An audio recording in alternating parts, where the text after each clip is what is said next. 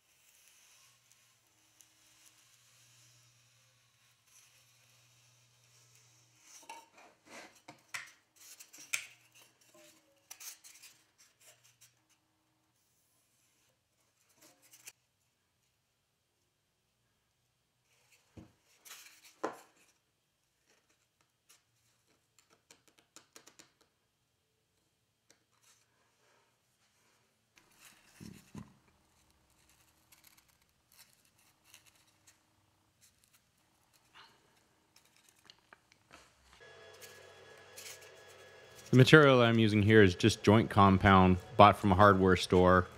And I'm just thinning it down with water until I get the consistency I want to paint it on to the foam structure and the foam pattern.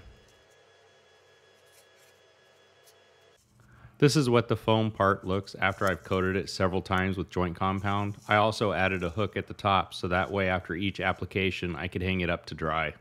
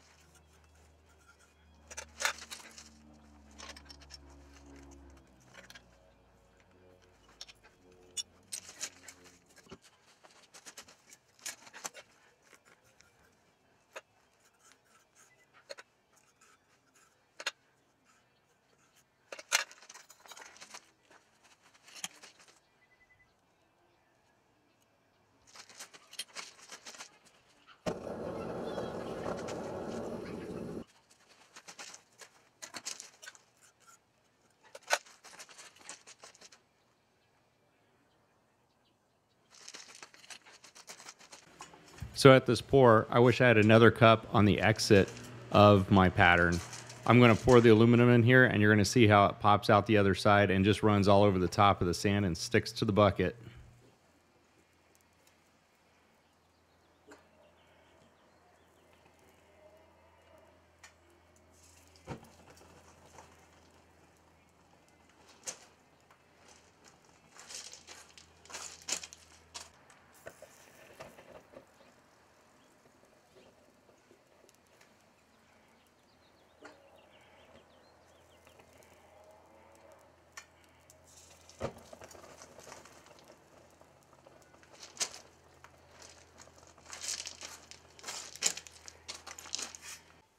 I have to admit here that that aluminum was stuck to the side of the bucket, and I just beat the snot out of it with a hammer to break it loose. That piece, though, just broke right off.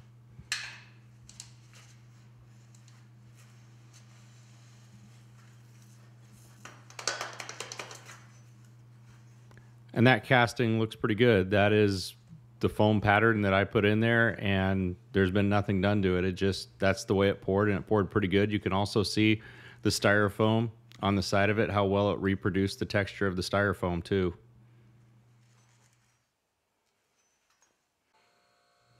So to give you an idea how well this reproduced, the only part I sanded was the back of it on a belt sander after I cut off the sprue. The rest of the surface has just been polished on a buffing wheel, and that was to preserve the defects and everything that happened from the foam to the actual casting. Um, looks like a lot of detail came through. A lot, lot of imperfections that were on the styrofoam showed up in the casting. But it also, I think, pretty much turned out well. If I would have spent more time on the styrofoam, it probably would have even turned out better. So I'm pretty impressed with how well it reproduced the results of the styrofoam. It's my first lost foam casting. I think it turned out pretty well. And uh, if you did too, give me a thumbs up. And if you liked what you saw and check out my other videos, also don't be afraid to subscribe to my channel. Thanks again. Hope you enjoyed the video.